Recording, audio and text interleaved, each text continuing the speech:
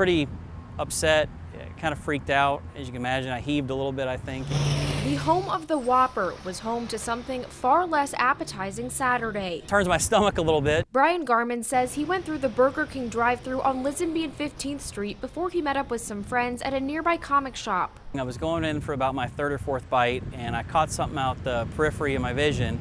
And about the time that I got to here, I looked down and right next to my mouth was what was left of this roach. He took these pictures of a dead cockroach and called the manager.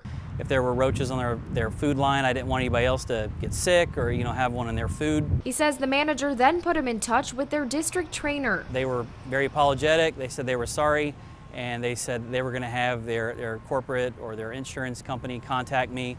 Um, and unfortunately, they never did. While he waited for their call, they offered him a refund. Uh, they offered me another replacement meal, which I mean, you know, unfortunately is not something I'm really interested in. Garmin collected his refund of about $8, but wants more to be done. I just don't feel like that their corporate office uh, is taking, taking this seriously. Burger King sent us a statement saying, in part, we can confirm this is an isolated incident and are working with the franchise who owns and operates this location, as well as our supplier to ensure our high standards for food safety and operations are being followed. In Panama City, Kirsten Mitchell, News 13.